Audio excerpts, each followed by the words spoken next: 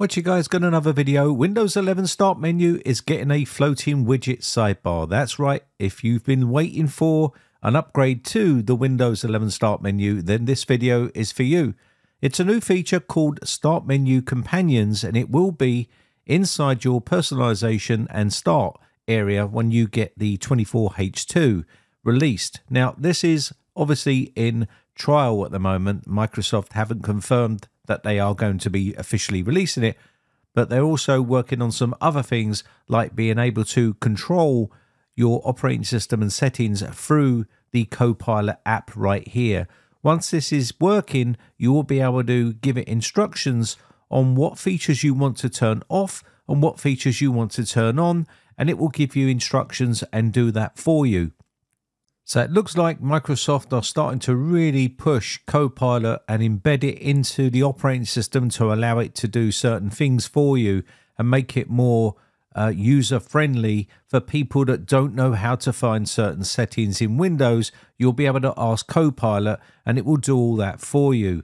Now, also with this start menu, it's a brand new release, so there is no confirmation just yet, so it's unclear whether Microsoft intends to formally announce this new feature or if it's just a internal experiment that will never see the light of day. Now, before we continue, let's have a quick word from today's video sponsor, CD Key Sales. If you're looking for a cheap Windows 11 Pro or cheap Windows 10 Pro OEM key, then check out the links in the video description. Head over to CD Key Sales and use my promo code capital B, capital R 09 and apply this to your order and once you've done that, you'll be able to submit your order and use PayPal to pay for your purchases. They will then send you your key and you'll be able to activate your version of Windows just like that. It's that simple.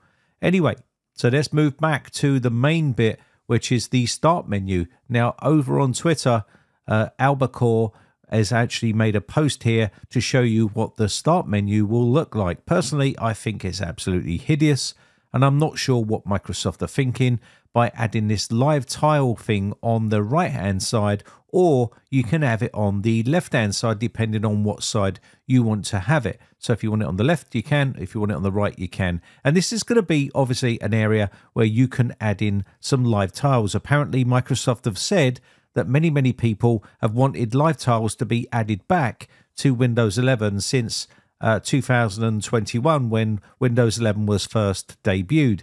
Now, can't deny that Microsoft do need to do something with their start menu because it's absolutely hideous. But in my personal opinion, added in the start menu companions so you can add in live tiles there, that is just making the start menu even bigger than what it already is. And already people don't like it. So I'm not too sure whether this is a good route for Microsoft to go down. Also, on that being said, it's probably going to give them more real estate to add in more, guess what? Adverts. And that's what they want to do, probably. And that's why they're adding it in. And these can be live ads because it will be a live tile section, which you can obviously add more in. And it can be as big or small as you like. But if you looked at those images, you will see uh, that is quite a large menu. And I will leave a link to all of that in the video description for you to check out for yourselves. Now this feature must be for the selected few because I tried to enable it myself using the uh, ViVeTool and also using the correct command to get it working. But unfortunately, it didn't work for me to be able to show you what the menu actually physically looks like on an operating system because I did install the correct operating system, but it's just not working. And I've tried to enable that feature, but it just won't work. So I've had to rely on the official source where this has come from and shown you the images. Now, my personal uh, option for the start menu would be to use something like Start 11. If you install Start 11 and use some of these start menus, they are way more better and more usable than what uh, Microsoft have to offer. Now, what I don't understand is why don't someone at Microsoft hire someone like this who knows what they're doing, who gives people what they want, because this is exactly what people want. They want a simple, easy to use uh, start menu, which is going to be uh, much more easy to customize like this. And again, you can pick this up for a pretty cheap price, around about, I think it's £15 for multi-license and around about uh, £9 for a single license, I think, or 9.99, something like that. It has gone up a bit, but they have done some major updates on this. And a lot of people that have seen my video see that I use this in my personal systems and basically asked how you set it up. So I'll quickly show you here. This is the actual menu itself.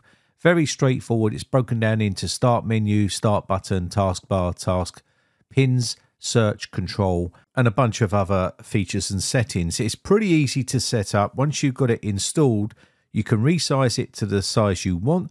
You can change the icons inside there to something smaller. I have them slightly larger so I can see them a little bit better, but you can have them whatever size you like and you can customize and configure it the way you like it.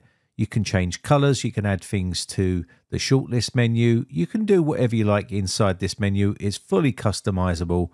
It's if you want to see a full video on this, then let me know in the comment section. I'll be happy to make that video for you and show you some of the features and what you can actually do with this software because I use this on my main system every single day and it makes life a lot easier. Now, I'm not sponsored by Start 11 before people start jumping in the comments and accusing me of running an advert for Start 11. I just really do put my name to this program because I think it really is a decent bit of kit and I use it myself on a daily basis. So you can add tabs in here like these and you can change the colors and appearance to them.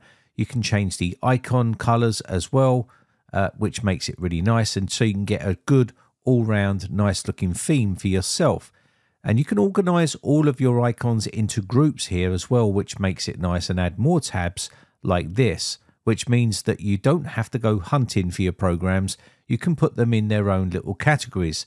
And this can be games, this can be programs, miscellaneous, uh, benchmarks, whatever it is you want to do, you can set this up how you like.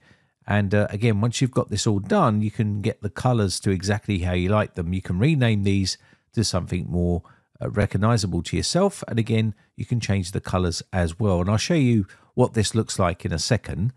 But let me just add some more tabs here so you can see. Very simple and easy to do. And you can just drag and drop these into the locations that you want. So let's just drag a bunch of these in here so we can see what it looks like when they're all populated here. We'll do one more tab down here uh, underneath and you can add more if you wish, but I'm just going to add this tab here, blank one. And again, you can add folders or files in here as well. So if you have a certain folder that you access quite a lot, you can have it attached into one of these areas right here. They do have a 30 day trial on this software now, whereas before they never used to allow you to trial it, but they do actually allow you to do 30 days of trial. So you can give it a go and see whether you like it or not. And I guarantee you, if you use this software, you won't want to go back to the start menu uh, of Windows 11. I can tell you that right now. Now, you can see what I did there. I just changed the icon color and it's now added a nice little color to it like this. And you can change this to whatever appearance color you like. And this is tinting the actual icons. You can add a shadow to them if you wish.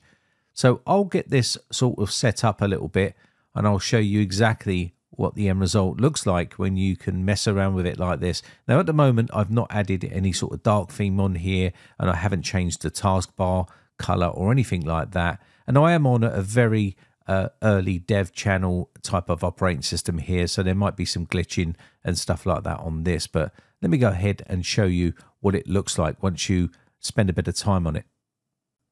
So I've spent a few minutes just getting this ready and I've made it a purple color. And as you can see here, we've got everything all nicely tied in. We've got purple icons and we also have purple tabs here. You can add in your icons inside here and you can add all your programs and stuff. You can call them whatever you like, but I'm just giving you an idea of what it actually looks like.